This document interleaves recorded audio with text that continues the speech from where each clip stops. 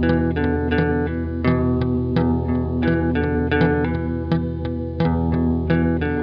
everyone, and welcome to this next episode of the Company Road podcast. I'm going to say that sometimes you do need to ruffle a few feathers to achieve a particular outcome within your organization. So, in this week's episode, we explore innovation from a provocateur's point of view. Things we'll be exploring are what's acceptable, what can you get away with, and what could possibly go wrong. A self named agitator for good, let me introduce my next wonderful guest, Max Kalis. He spent over a decade using design and strategy to help businesses and projects to get from A to B in creative ways. And he's now taking this approach to individuals through career coaching and specializes in supporting athletes to build a fulfilling life after sport. His experiences include taking Lloyds Bank in the UK through its first seven hackathons, setting up Dead Pony Club as part of the Innovation Labs founding a charity to save the United Nations, which it didn't, doing the world's biggest research into athlete career journeys, and getting fired by a design agency, as well as working randomly as a harbour master, kindergarten teacher in China, and running an off road sound system around extreme sports events for Red Bull. So, this conversation is a total roller coaster. So, hop in and enjoy.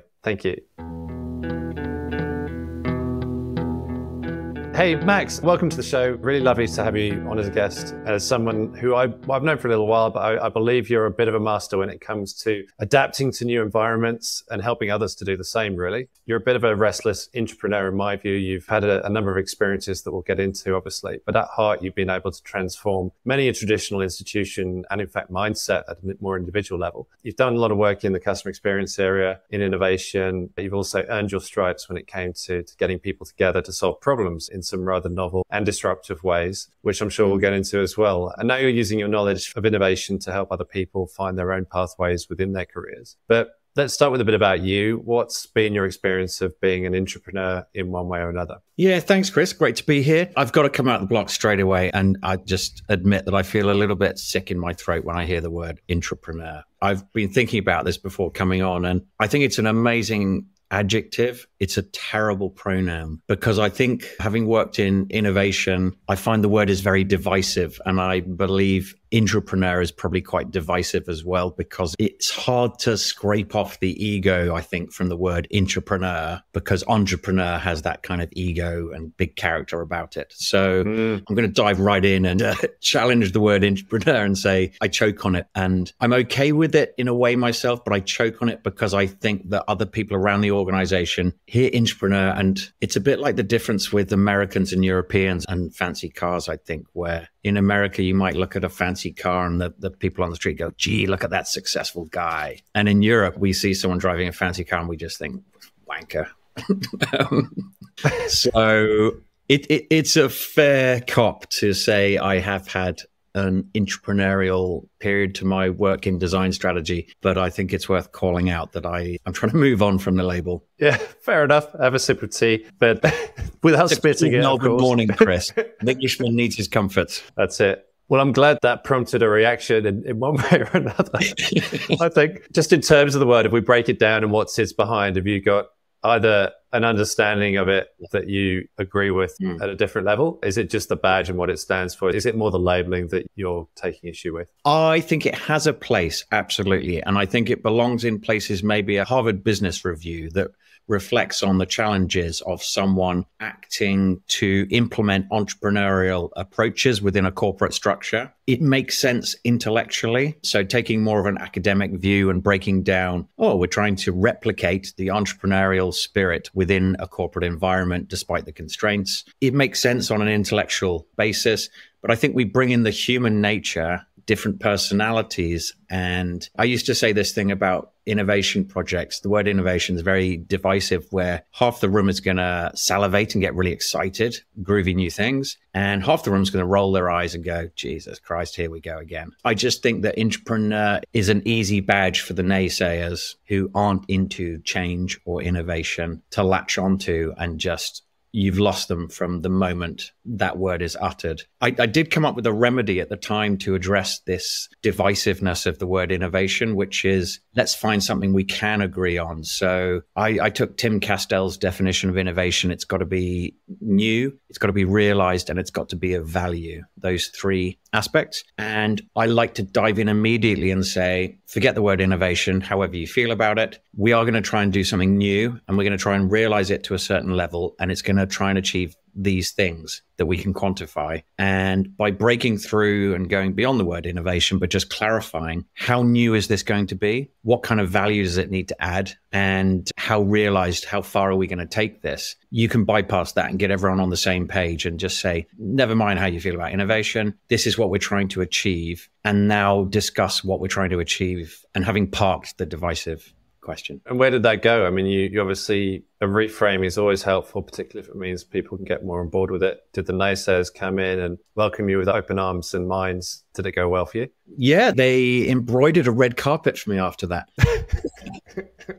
no, there's continual battles. I think there are further levels to this. There, there are various potholes that anyone acting entrepreneurially can try to avoid. I think it's pretty pretty interesting to once we've parked the issue of innovation to get into what does good look like for these people. So I might just summarize my background where I did design strategy for 10 years. Five of those were in the innovation labs at Lloyd's Banking Group, where I had a lovely role where my job description was basically to poke the boundaries with a stick. And I was probably known for doing things like running the first seven hackathon series, delivering weekly events, that brought in different ideas and different thinking from the outside in and a license to basically set up projects that tried to change the culture there. It was all about this mantra that the future didn't necessarily belong to the big, it belongs to the fast. I started off on the strategy and product side, and then I shifted into events and culture side. I think my philosophy in this space is probably about trying to unite strategy and culture. For me, strategy is more of a masculine thing. It's more direct. It's about straight lines, it's about hard numbers. It's quite blunt. Whereas the culture and events side, the culture side is more of a feminine kind of approach where it's a bit more subtle, it's a bit more curvy, it's a bit more discreet. But we ultimately need kind of the two sides here to, to come together for an organization to shift, I think. So that's probably useful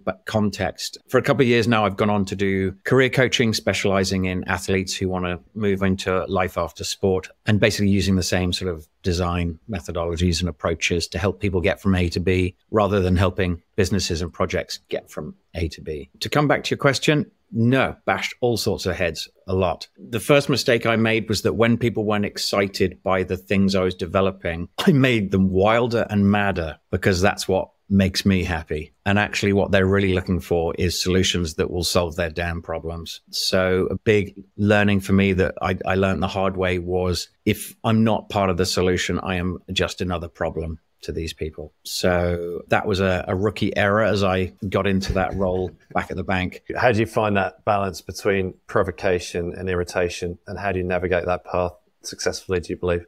I've tried to kind of own it, and it, it stems from the innovation and culture work plus the coaching work, which is my plan is basically to be what I said at the bank was my job is to be frightening, but in a good way. And I would say that in the coaching work, my job is to be quite annoying, but in a good way. So I try and own it and say, I'm likely to be annoying, but it's worth it. So it's this notion of a lovable rogue in a sense. Do, do you remember the, I suppose, the process of getting into that role to begin with at Lloyd's, what you went through, why you thought you were chosen for that particular role? They had basically said, I, I was at LSE doing a, a, master's degree and a module in innovation for which we did a project on uh, the future of banking for Lloyd's. I wasn't really aware at the time, but Lloyd's frankly couldn't give a crap about these students telling the bank what they should do in future. But I didn't, I hadn't read the script. So I was pestering the bank and saying, we've invented the future of banking and I'd like to stick around and make sure you do it, please. And I kept pestering them long enough that they said, oh, for fuck's sake, right, come on then, come and join us. We could do with someone annoying like you, basically, to help us shift forward some of the managers there said actually having a kind of in-house upstart to help challenge what we're doing would be useful. So I think some of the more progressive managers would use me to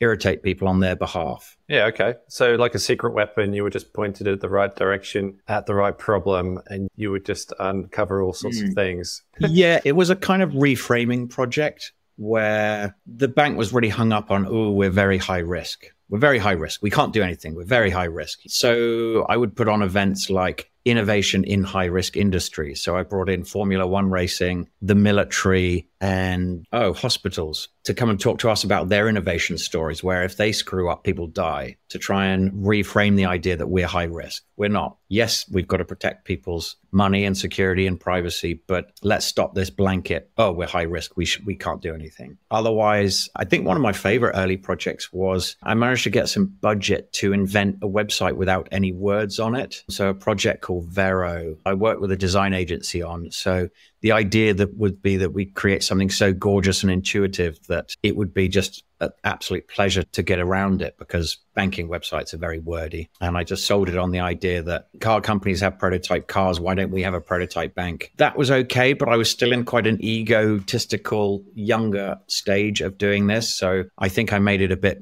too much about me and it wasn't particularly addressed. It wasn't tied into anyone's problem that was keeping them up at night. So yeah, that was a, another learning. It sounds like a, a very interesting role in where you took it both from taking on the challenge, but also mm. in, in, applying a, a, fresh perspective and new approach to what they were doing. I suppose where did you spend the most time? Was it in strategy land? Were you more in that discovery and implementation and ideation type space? Were you quite focused around the outcomes and the outputs and what it would deliver? Where was the center of gravity for these types of projects? Definitely found my home in the culture and events side of things. Mm. The strategy side was full of who could be the most serious person in the room, which is not my natural skill. And in an environment that is drowning in presentations and graphs and decks and all the rest of it, I couldn't compete on that level. I've always sort of had this idea that I'd, I'd, kind of like to be the fittest person in the library or the smartest guy in the gym. I think it's better to be smart about who we're competing with and how. So I found in a culture and events side of things really receptive because we were expected to deliver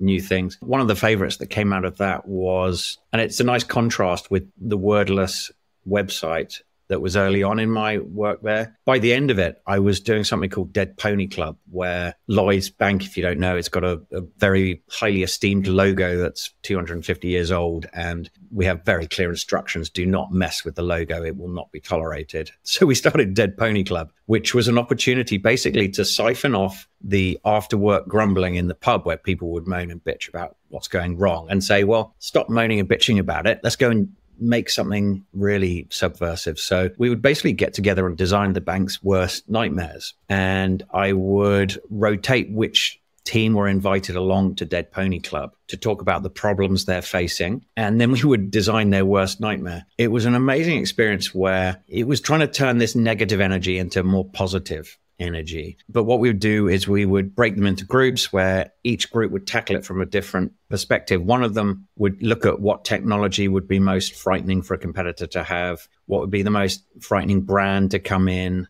which celebrities would be behind this, and what animals. Animals was the best, sometimes bands, but animals is the best. The most abstract because it stops people thinking about it in a rational, logical way. A nice example of that is we did Dead Pony Club for the small business banking area. What we identified is that there was open banking was coming in, which meant there's going to be a lot more competition and fintechs entering the market. We take the results of Dead Pony Club and we turn it into a cartoon because no one else is circulating cartoons at the bank. And even bankers are human beings too that quite like cartoons. Yep. So we had an amazing artist who worked with us and he created this picture. You got Daddy Hippo, who's corporate banking. You got Mummy Hippo, who's retail banking. And then you got a little baby hippo that is retail business banking. We had it being attacked by a swarm of digital mosquitoes. This is the onslaught of the attack of the new wave of competition from open banking. I mean, you actually physically feel sick looking at this baby hippo being attacked by a swarm of metal mosquitoes. It's hard to quantify. I was always under a lot of pressure to quantify the impact of innovation? What's the return on innovation? I don't know, but small business banking got twice as much money to defend itself following on from that. I can't yeah. take credit for it, but did we contribute? Did we change the conversation? I think we did. And that really was a good step forward because it was nice and edgy and exciting and very entrepreneurial very kind of startup style, but it was much better, much smarter way of being collaborative than my earlier attempts. It sort of begs a question around what it takes to evoke a response and a positive one at that, that is rooted in participation in one way or another. And coming mm. back to what we were saying before around the naysayers, actually giving the forum for that to breathe and live quite happily, mm. but then to do something constructive with is an interesting way of approaching it because a number of companies would just rule it out in another way. They would just probably issue a directive and say, this is not how it has to be. This is not how it will be let's do this instead. Yeah. And it becomes a bit more authoritarian. Did you find that you were almost combating against that having been the case? Yeah, I did find if you do something with no budget, it's bloody hard to stop you. Or permission. They can't turn the taps off. Yeah. They can't turn the taps off. And I've always thought that part of my job was to get fired, but for doing something I would be proud of, not something crap. I always felt that was partly why I was there. My job was to push the boundaries with a stick and push them. And if I wasn't getting in trouble, I wasn't sure I'd be fulfilling that. But yeah, you don't want to antagonize people unnecessarily. So a bit of a balance. But yeah, if you do a project without budget, who's going to stop you? On the boundaries side of things, how do you work with boundaries? Do you set them clearly in your head? Do you just push until you get a response? What's your view on risk taking and boundaries? I had, thankfully, an amazing manager at the time, Sophie, who did a really good job of helping me understand the organization and the organization understand me. So I think I had mid level aerial cover and then I had higher level aerial cover. So the highest level was the, the head of innovation who was basically not objecting and saying, you know, roll with it, see what you can get away with, but make sure it serves a purpose. But I had someone who was actively involved when we would engage and do events and work with, collaborate with other parts of the bank. I think they would kind of explain that I can be helpful, but if I've gone too far, go and talk to her and she'll sort it out. I had some decent cover and it was useful to have someone who trod more delicate political steps than me, definitely. Mm. How do you think they justified that to the board or the more senior leadership team in and around what was going on if they were quite happy to let you run with it but were they close enough to be able to really be able to report that on a more granular level i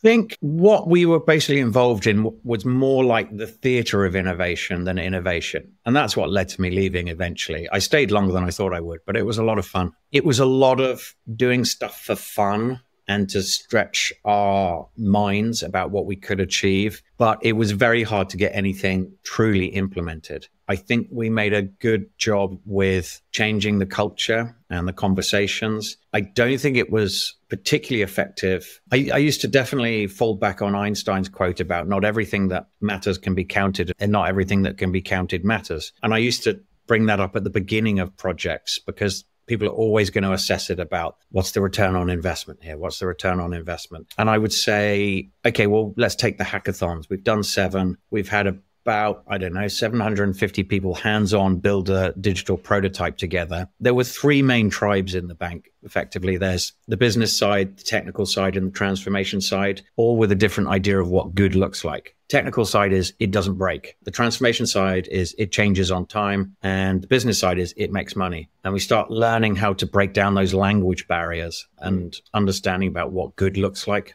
from different areas. So, yeah, with the hackathons, we help break down the language barrier between groups. And we've got all these people who've hands on experience of how to build in an agile manner. And then if you take the other side where we don't quantify how many people did this or did that, or we off the back of it, we would always prototype the best idea off each of them. So seven new projects launched. But actually, there's two stories which I think are even more compelling on the qualitative side. One of which is we actually had a kid bunk off school to come and join in one of our hackathons. That's really cool someone bunked off school to come and join in one of the hackathons. And then another one was during an event, one of the designers comes up to me and says, Thanks for letting me join in the hackathon. I'm loving this. This is amazing. He said, But you know what? I Actually, I just want to confess something, which is I'm actually not really a designer at all. I work in finance, but I really wanted to come to this. So I've spent the last three weeks on YouTube learning how to do graphic design. And you know, that these are the kind of things where you can't quantify that. But if you want to have adaptable people in your organization, that's amazing. So I try and preempt a lot of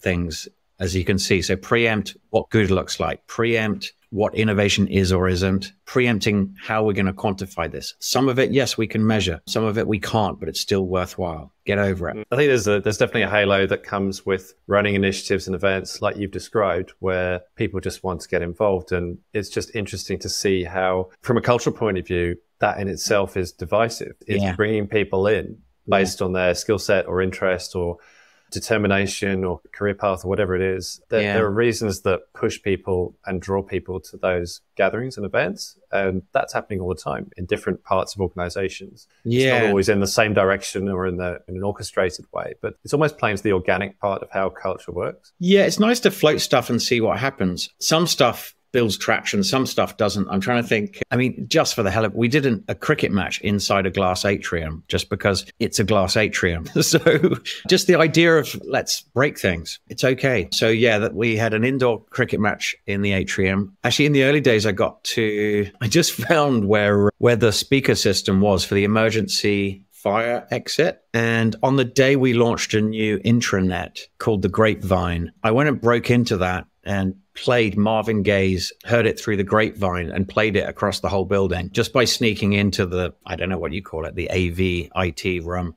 and just plugging a, a little CD player in there. There was some stupid shit. Then we did these amazing things where on a reframing basis, there was the espressos, digital espressos. Every day, sorry, every Tuesday at 11 o'clock, we would have a guest speaker downstairs in the atrium. And we would just invite radical fintech entrepreneurs who were ready to take the bank down. We had a security expert who actually, he did a live experiment that I wasn't aware of but he basically hacked a Wi-Fi enabled dildo to make a point about why your security digits on your phone should be six letters long, five, not four. Anyway, so that was a live experiment that we hadn't seen coming. I got a billionaire in to come and speak, although I think I think he might have fired his PA after that because he turned up obviously pissed off that he was talking to a cafe full of uh, sort of very mediocre banking employees and not the chiefs. But the regular talks every day at 11 o'clock, we'd get probably about 100 people together. Mm. And this began as a room of seven people who got together one day and, and talk about what the hell is Bitcoin. So that got a real momentum. And then we did an evening version of that event where we would invite people into the bank. And actually, rather than panels, I would tend to organize debates because panels are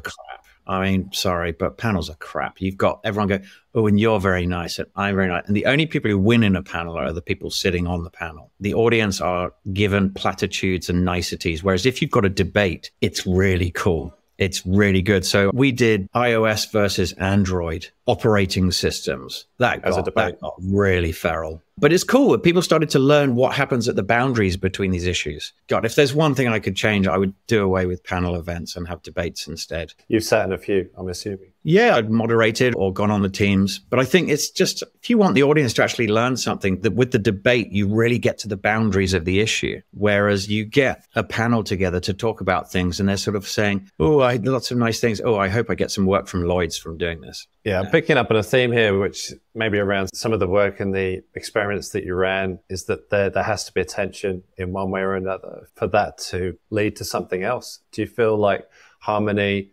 inertia, it breeds apathy and it breeds a sense of status quo? What, what are some of the forces that can be used helpfully to, to bring about new, fresh thinking, really? I think there's two things there. One of which is there's a Camus quote on the difference between a revolution and a rebellion, which I've always cottoned onto and, and really highly valued. He says the difference is that the, the reason a re- revolution is respectable is because it's suggesting an alternative. Rebellion just says, oh, this is shit. But a revolution says, I think we've got a better idea that's worth fighting for. I've always been interested in people and projects where there is a clear alternative being proposed versus those where people are just whining, moaning, and no time for the whining or moaning. But if people have got alternatives, let's find the smallest possible thing we can do to test it and get on with it. Mm. I think there's got to be a purpose behind the antagonism and rattling people, not just for the sport of it. Not all ideas are equal, as we know, and they come in from different voices, different parts of the business or the organization usually. But how do you navigate that? On that subject, we one of the most effective things we ever did was our banking app wasn't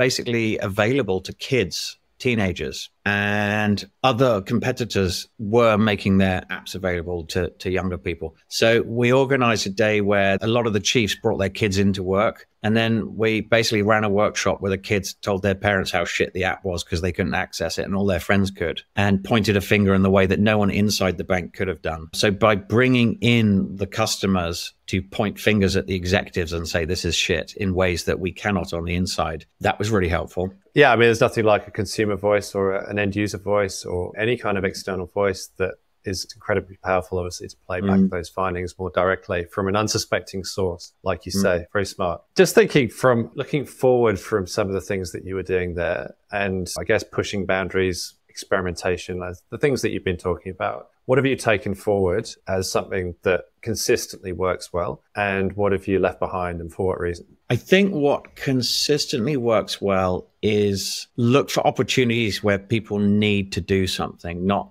trying to get people to want stuff. We're not going to change what people need to get done. What I used to do is get as many coffees as possible to find out what keeps these people up at night. What are their problems? In a bank, it's relatively easy. There were always balanced scorecards that were spelt out and were often public saying, this is what this person needs to achieve within this time frame. I used to work with my manager, Sophie, because she would work at a level where she had much kind of clearer access of what do these people need to do. So I found it useful when she would effectively find the right people for us to work with. And then I would get deployed to go and do with it because that saved a lot of time pissing into the wind of people who just weren't interested. So that was really helpful to find places where there was a good appetite to try things out. And I think in terms of collaboration, I used to encourage that we find the smallest thing we all agree on and get the hell on with it. Why don't we just write an article together? See if we can do that. Okay, we've done an mm. article together. Why don't we do a workshop together? That went well, fine. Or if it didn't, what have we learned? Okay, well, now we've done that. Okay, maybe we could do a joint initiative to run an event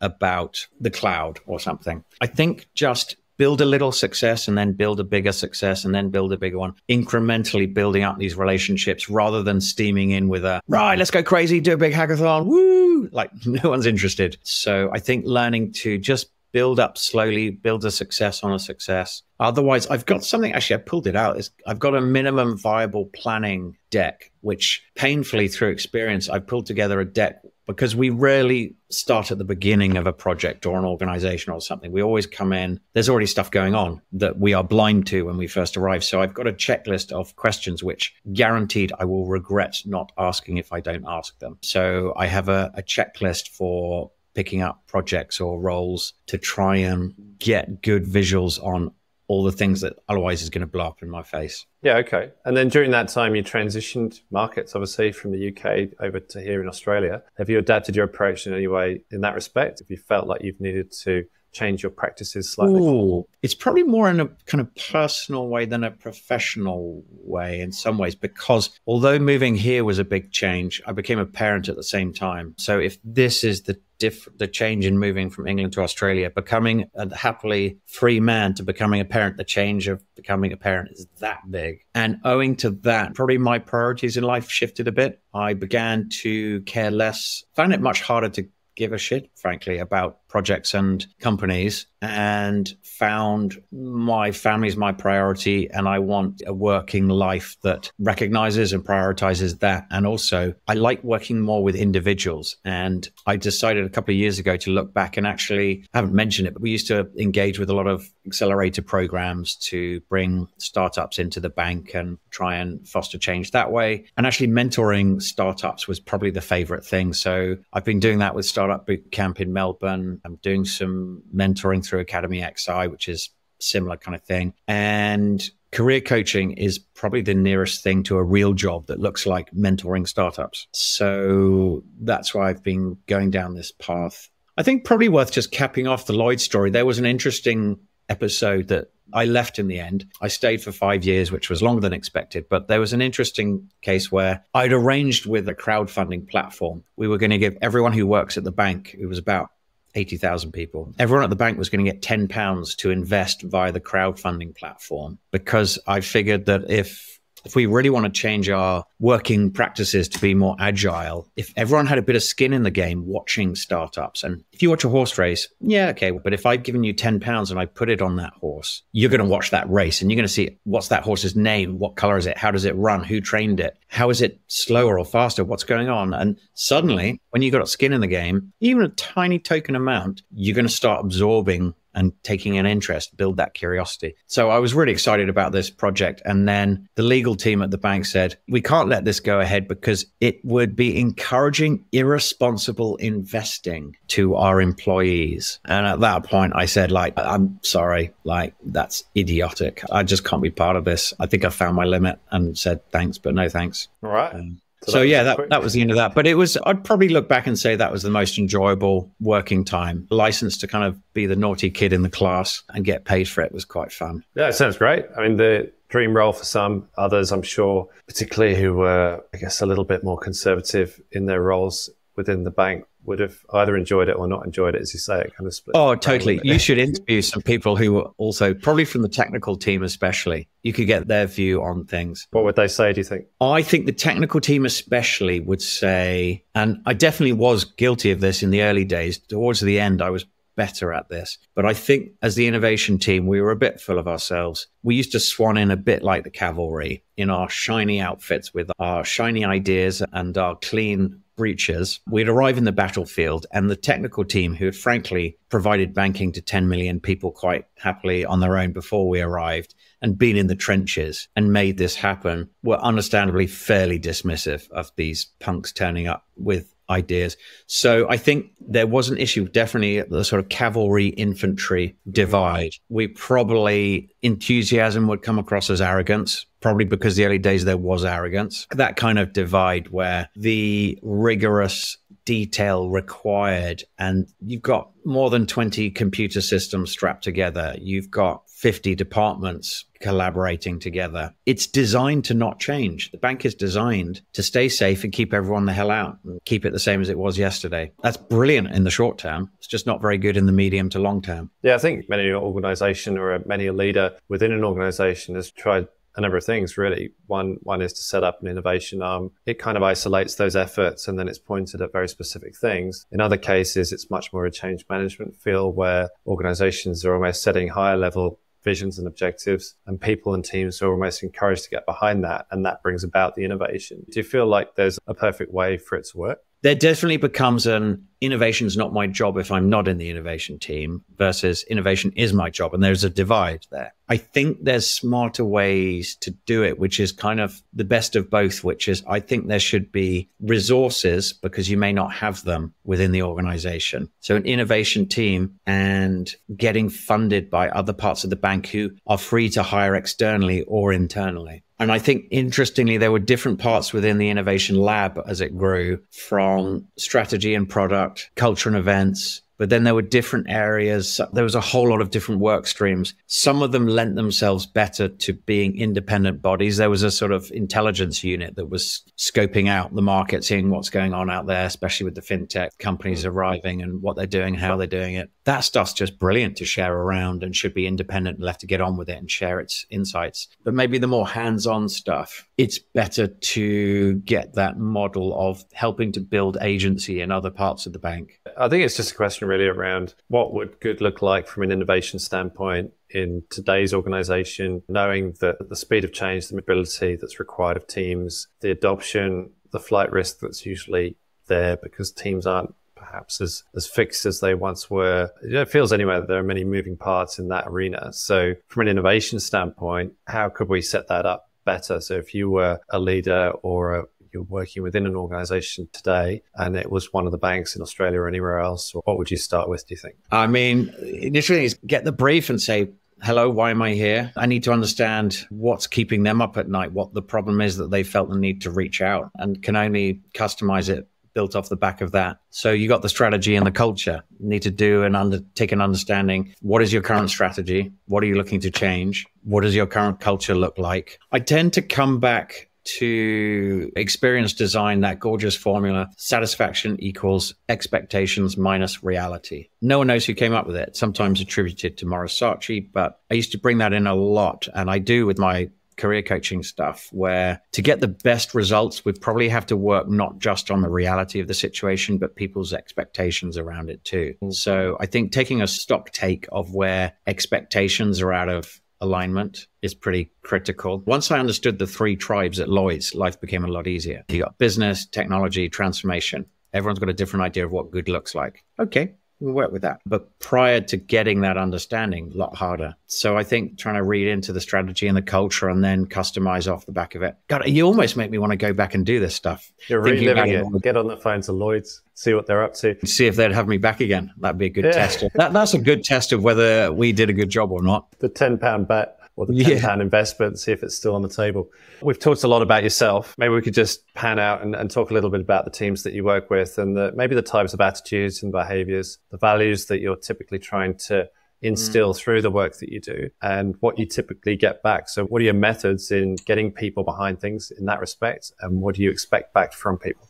I think for a moment, I might just lean on the career coaching side of things for what you've said there, because I think we're talking more about an individual basis and the coaching is really more around the one to one. Whereas previously, what I've moved away from is working on businesses and projects. I'm seeing there is a kind of big secret around career coaching. Typically, most people who want to engage in, in getting support to progress their career feel they've got in a bit of a knot. No one comes to a career coach unless they've tried really hard, but uh, ultimately quite painfully to resolve it themselves. I tend to find there is a kind of secret don't tell anyone. But typically, these people know what the answer is, but they just don't like it. I've just done a hell of a lot of research into athlete career transitions, and this is my new niche. There's massive parallels between sport and addiction. I've been to rehab myself 16 years ago to give up drinking, and that was the most educational experience of my life without doubt that has shaped my career more than anything actually to end up in a rut, stuck in addiction, and then the recovery program to climb out of that. Typically within a, a sporting organization, and I'd say it's probably similar within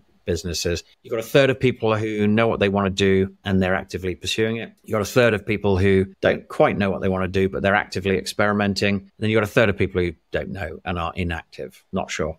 And of those who are inactive, it's kind of in denial about the opportunities they have. Typically, the recovery sort of path would suggest there's only two reasons for that. One is fear, and one the other is pride. Fear is if I look at these things, I just get this like, no, I get mm. fear. I don't want to go. I don't want to go there. Like you don't want to look at a big scary bill or something. Or you don't want to look at a snake don't like that, not looking, not engaging. The other one is pride, which is like, yeah, whatever, I'm better than this. Like, it doesn't apply to me. I'm special. I'm fine. Fearful ones are easier to work with. We can rationalize and normalize these fears and go, like, God, we all have fears. Probably is the way to go through it. It's much smoother path to go through it and accept it. The pride one is harder, but typically I find trying to promote people who are full of pride and say, You're amazing, you're fantastic, and you should go and mentor other people because you've got this nailed because you're so amazing. And eventually they sort of go, Yeah, I've learned so much doing this because I think it's about making a socially acceptable way for people to engage and get towards that thing that they don't really want to accept. How has it played out? What are some of the results that you're seeing from listening yeah. to people to that extent? What are they now capable of doing, do you think? I feel a bit too early days to evaluate. So it's only nine months into focusing on the athlete side, and I've only just released the research last month. So I'm about to go and pitch that to various clubs and associations as I try to basically step up and go from working with more random individuals to being part of the sporting establishment in Australia and building my credibility as a useful asset for people, particularly that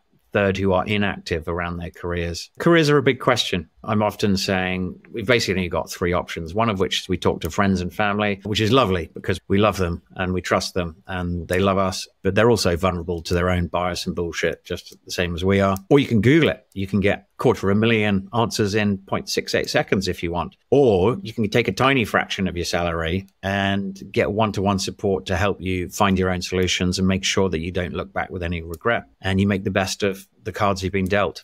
I think there's a growing trend and less squeamishness about working with another person to just step back and untangle. And it's quite hard to get time and space in our lives to just pause and think about these things. So, yeah, without going into a full me, me advert, that hopefully provides some context.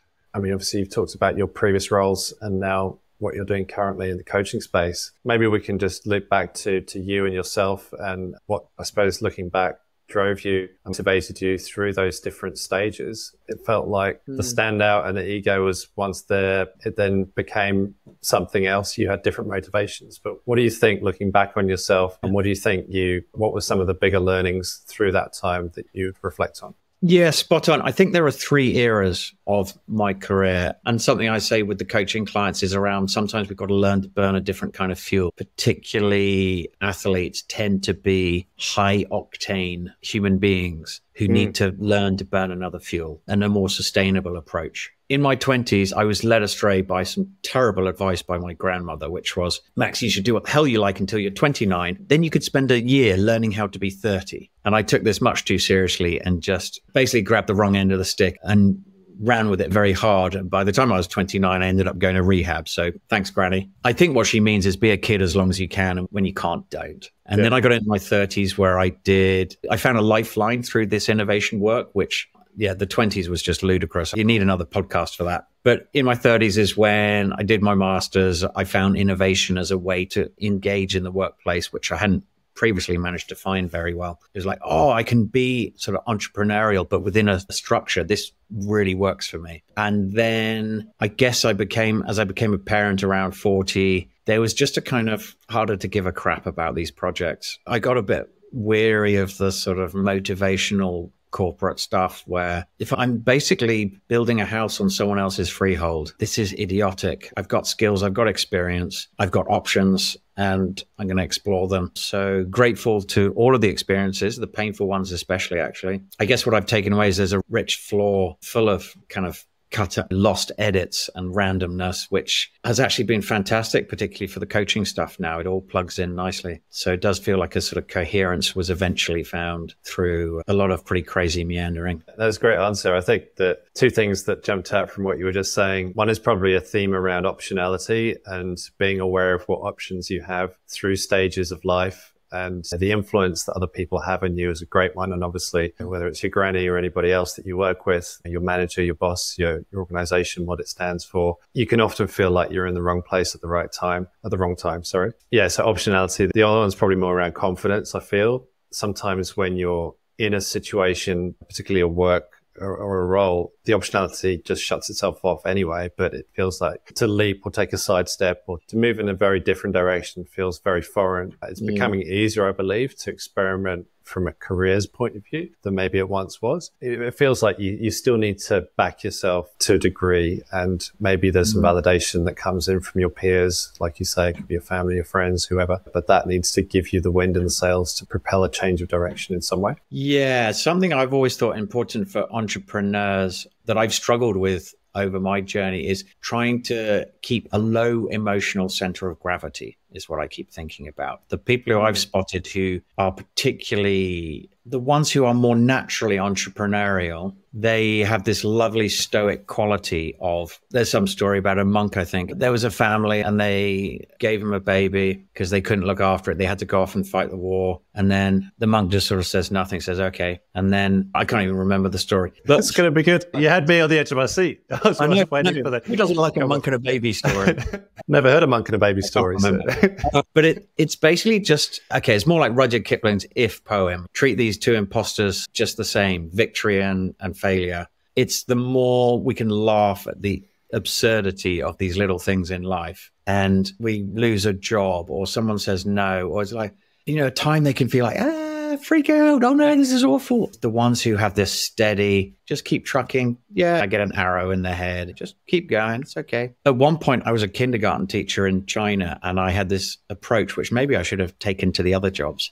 But the strategy was to get me through this hate them all equally. Basically, this lovely sense of indifference. And I think trying to get a bit more indifference to this stuff, which Jack Teagarden's song, 100 Years from Today, look it up it's a lovely song. It's all about like 100 years from today. Who's going to give a shit? So just trying to like do what we can. And maybe the the cleverest thing I've ever come across is the serenity prayer from my AA practice and recovery work. The serenity to accept the things I cannot change, the courage to change the things I can, and the wisdom to know the difference. It was thanks to that, I used to argue with a lot of things. But when I went in to give up drinking and recovery, I came across the Serenity Prayer and I was like, I can't argue with that. That's so damn good. And that was the hook that helped me get onto a very positive path. And I think that's a lovely thing because again with the coaching people tend to get bothered about things that are nothing to do with them and in denial or ignoring the stuff that actually is their responsibility that tiny little prayer nails the whole thing yeah it's um, fantastic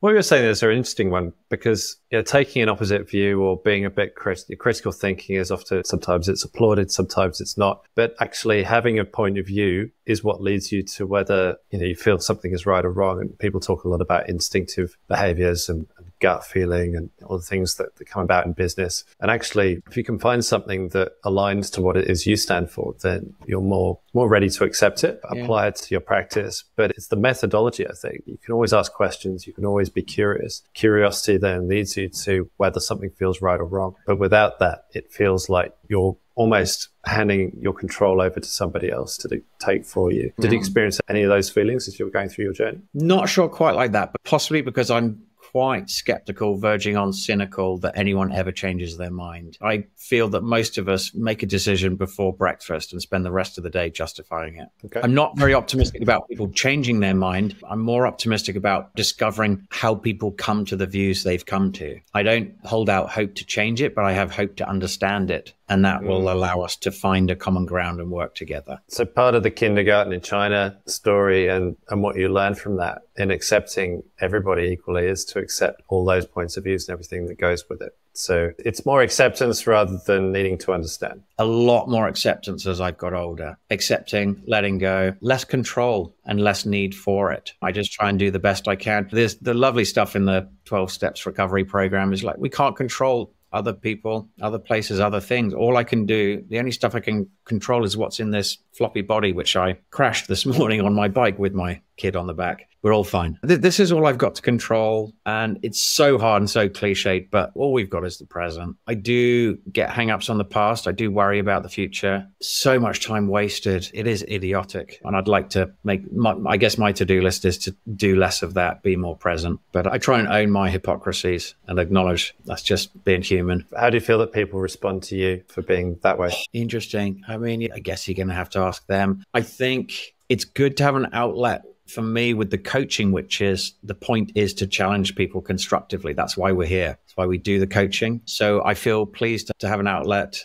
because naturally that's how I am. I like to be sort of antagonistic for good reasons. Yeah, I just enjoy the contrary side of things, the paradoxes. People don't always have time for it. I think there is an element of choosing a time when people just want to know if you want a cup of tea, not do you want a, a deep philosophical debate about something. So yeah, knowing a time and a place, definitely for meetings, having an agenda and put my hand up and say, I can get distracted. So if you want to achieve something in this meeting specific, if you could help me come back to it, that's fine. I think just be open and honest, be ourselves. I guess I, I, cling on to the idea being ourselves is a good way to be. And then if it's working, it's working. If it's not, roll on. Try and find a place where we do plug in all right. Um, I was very lucky in the innovation work that I had this amazing role that fitted me personally and fitted them professionally. In the coaching stuff, I feel very fortunate to have evolved. I'm still very torn though on how much work is something that we have to love and how much work is actually someone just needs something done. Can you help? And I think it's interesting. We're very overeducated in the Western world. And I think it's a pity. I slightly wish that university was free, but only if you did something useful. Like I'm in favor of us doing like philosophy and plumbing. So when the economy is good, fine, go and do philosophy. But when it's not, go and be a plumber, please. Yeah, interesting. Maybe a last question in and around any advice that you would give to other people through their own journeys. But how do you feel through your career and what things are you looking out for as the signs of something being right in your work or just out of line? And at what point would you reconsider the working situation that you're in to, to consider op- other options, do you believe? It's probably a bit like the rule for whether to get out of bed and take a piss during the night. Sometimes you wake up in the night and think, oh no, I slightly need a piss. I've got a rule that if I think, oh, I think I want to piss, on the third time I go and have a piss. The rule of three? I think it's a rule of three thing. Also, my sister suggested work probably should be good a third of the time, okay a third of the time, and shit a third of the time. Now, that resonated for me. Other people may want to adjust it and tweak it and say, no, I want good, I want work to be good 60% of the time and okay 30 and shit 10%. Have a think about what is acceptable to you. But if you're asking yourself the question, it, it it's maybe comes back to, I don't know, like irritating neighborhood noise. Just put it down in your diary when there was irritating noise because the police will want to see a record. Just keep a note of these things. And the third time you've written down, I don't like my job, look at your options maybe. Because again, it's that thing like we have you know the answer, you just don't like it. Yeah, no, it's that's definitely it. I, I think we might wrap there, Max. I really enjoyed our chat and just by the virtue of all of the things that you've experienced through your career so far and you continue to do, it's always evolving. It's always open. You're always inspired by the environment that, in which you're in. Mm. You're taking all of that on and you're applying previous knowledge, experience, and you're applying that to the things that you do today. And it's obviously opening up more and more doors. So, so I love it for that. And. I love mm. the, the meandering conversation that we've had. I didn't, maybe I didn't give you enough conversation structure. I didn't set any clear parameters. I kind of wanted to see how you would roam free in this uh, environment but hopefully you've enjoyed it as well. Oh, I love it. I love it. It's bringing back a lot of memories of interviews. I used to do job interviews, and without fail, they'd say, this is the most fun we've had today, but no, we're not going to give you a job. I don't have to make you an offer. Don't put me on the spot. I don't know what I'd offer you. Yeah, but yeah, thank you so much. Tell us a bit about where we can find you. Yeah, of course. I've got a website, Max Kalis, which is M A X K A L I S com. Yeah, that's the easiest one. MaxKalis.com. I've also rescored the AFL league to, but with minus one for it behind instead, just for fun. And that's what was the result, it. or is that a uh, spoiler? About one in five games, you get a different winner. Brizzy would have won the grand final. All right, there we go. Um, we're going to change the course of AFL maybe. There'll be a lot of other Melbourne team supporters that would be happy about that. But yeah, really appreciate your time again. Thanks so much, Max. Thoroughly enjoyed Anytime. it. Thank you. All good. All Take right. care. Cheers, Chris. Bye. Okay, so that's it for this episode. If you're hearing this message, you've listened all the way to the end. So thank you very much. We hope you enjoyed the show.